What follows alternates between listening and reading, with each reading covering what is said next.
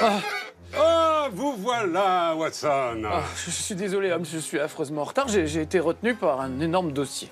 Euh, je vois en effet un dossier de chaise, pour être précis, sur laquelle vous étiez assis, tandis qu'une personne corpulente, à califourchon sur vos genoux, entreprenait de vous lisser la moustache avec sa langue. Pas du tout. Pas du tout. Non. Non. Mimi Lichtenschweiler. Autrement appelé le Rossignol de Hambourg, sujet vedette du cabaret libertin The Burning Bush sur Cumming Street, une lève la cuisse notoire. Prodigieux Mais, mais comment avez-vous deviné? Simple déduction, olfactive en l'occurrence. Hmm, D'ailleurs, à propos de votre haleine, hmm, soufflez là. Ah, je dirais hmm, brandy, grande champagne ou borderie, 15 ans d'âge. Mais pas du moins tout. Mais non, j'ai juste bu du thé ce matin. J'ai pas eu le temps de me brosser les dents. Ah bon? En tout cas, vous direz à cette jeune personne que ces activités ne sont interdites aux mineurs.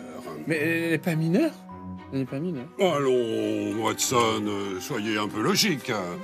Observez bien la suie sur cette plume, de canari qui plus est, un oiseau utilisé dans les mines pour prévenir des coups de grisou. De toute évidence, votre créature, en plus de ses activités nocturnes, descend le jour au fond du puits pour joindre les deux bouts, sans doute. Pauvre créature, le matin au charbon, le soir au barbon. Mais bon, je ne vous ai pas euh, convoqué pour discuter de vos turpitudes, Watson. Avez-vous apporté le journal, un exemplaire du Times de ce matin, comme je vous l'ai demandé? Tout, tout à fait, tout à fait, le voilà. Le voilà, ouais. le, le journal, voilà, le voilà, le journal. Parfait. Ah, l'article scientifique que j'attendais. Ah, tout y est. Noir sur blanc. Ah, Sherlock Holmes et ses fabuleuses capacités de déduction. Dès les années 80, euh, 1980, pas 1880, les jeux vidéo ont tenté de restituer la richesse et la subtilité de ces enquêtes.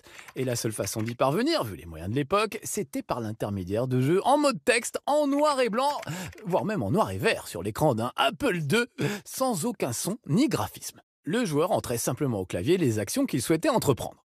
Dans l'affaire des joyaux de la couronne, Sherlock Holmes préférait refiler l'enquête à ce bon vieux Watson pour esquiver le piège tendu par l'ignoble professeur Moriarty qui, bien entendu, tirait les ficelles d'une odieuse machination. Sherlock sur Commodore 64 et ZX Spectrum reprend la même mécanique de jeu, mais en y ajoutant par-ci par-là de somptueux graphismes en couleurs. En huit couleurs, pour être exact. Mais bon.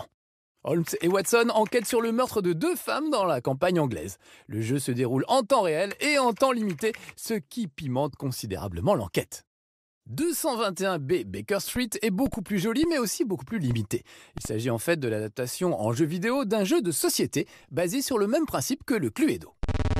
Les joueurs se déplacent sur la carte et rentrent dans différents bâtiments comme un pub, un théâtre ou les locaux de Scotland Yard pour récolter des indices et celui qui réussit à trouver le coupable le premier remporte la partie.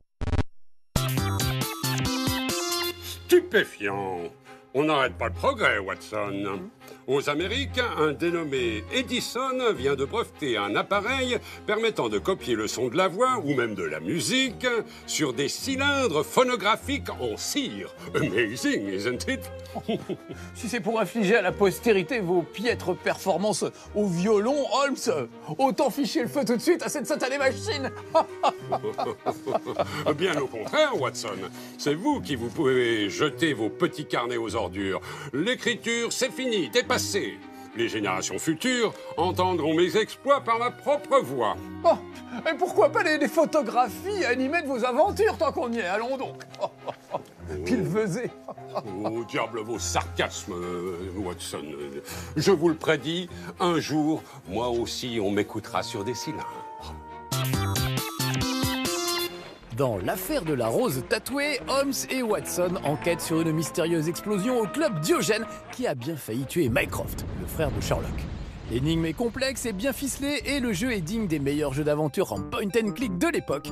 Mais c'est surtout l'utilisation d'une toute nouvelle technologie, le CD-ROM, qui va permettre à Sherlock Holmes, beaucoup plus bavard que la plupart des héros de jeux vidéo, de prendre enfin toute son ampleur. Non seulement on peut entendre les voix des personnages digitalisés, ainsi que l'ambiance sonore de la rue avec le son des calèches et les murmures des badauds, mais on peut aussi profiter d'animations très réalistes grâce à l'utilisation de véritables acteurs filmés en studio et transformés en sprite. Un véritable petit joyau. La série des Consulting Detectives est à l'origine d'adaptation d'un jeu de société très malin qui est un peu l'équivalent d'un livre dont vous êtes le héros. Les joueurs se déplacent librement sur une carte de Londres et choisissent, en repérant des adresses dans un annuaire, d'aller interroger différents témoins. À chaque témoin correspond un petit paragraphe qui donne des informations et des indices à partir desquels les joueurs pourront formuler des hypothèses et tenter de résoudre les différentes énigmes proposées. Grâce à la capacité du CD-ROM à stocker des vidéos, les paragraphes écrits sont remplacés par des petites scènes tournées avec des acteurs dans de véritables décors. C'est pour moi la mécanique de jeu qui est la plus proche d'une véritable enquête et celle qui rend le mieux justice à la subtilité des aventures de Sherlock Holmes.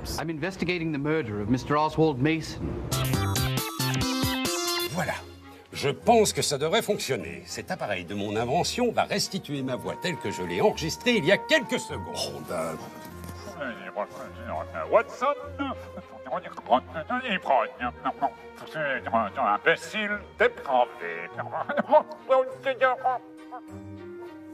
Alors là, excusez-moi, Holmes, mais ça n'est pas très probant. Euh, D'où peut venir le problème? Alimentaire, mon cher Watson. La conception et les mécanismes de mon engin fonctionnent à 100%.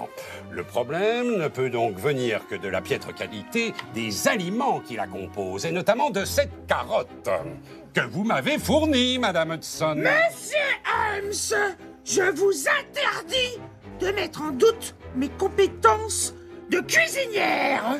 Mais loin de moi cette idée, chère madame. Je m'interroge simplement sur le sérieux de vos fournisseurs. Qui donc vous a fourni cette carotte? C'est des roms. Euh, Vous voulez dire que ce sont des, des vendeurs à la sauvette roumains Oui, voilà, c'est des roms. C'est des roms, c'est des roms. Hmm, Je crois qu'on tient enfin une piste, Watson. Mais quelque chose me dit que nous sommes encore très loin de pouvoir résoudre cette énigme.